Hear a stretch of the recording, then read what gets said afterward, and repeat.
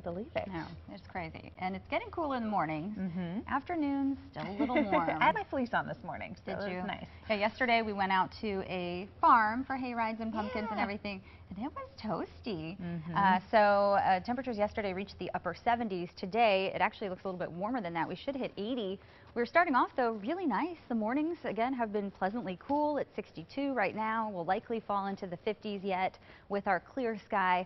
At lunchtime, we'll have sunshine and 74, and we'll be warming quickly up near 80 between 3 and 5 o'clock. A few afternoon clouds, but still even partly sunny and dry for the drive home at 5. There's really not a big rain chance at all today. Our satellite radar loop, in fact, shows the clear conditions from Columbus through the Miami Valley. Could rule out a little bit of light fog in spots, but no active weather around. That is all well off to our north, north of this front. We can see it moving across Michigan, back into Wisconsin and Iowa. And that's going to be the area most likely to see rain through today. Uh, this front will eventually sag south into the Miami Valley, but that'll happen tomorrow. So our rain chances really won't go up until we get to Tuesday afternoon.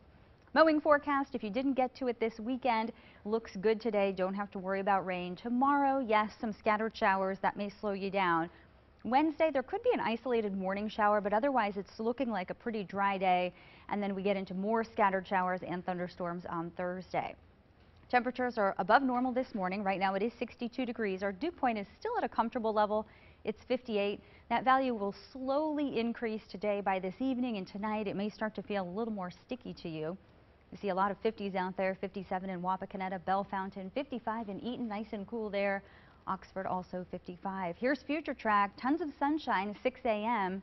Will continue to be mostly sunny through noon. And then mid to late afternoon, we'll see a few more clouds around, but we still expect dry weather for the drive home at 5. Clouds will continue to increase tonight. We can't rule out a few showers late tonight, but a lot of us will start off dry tomorrow morning.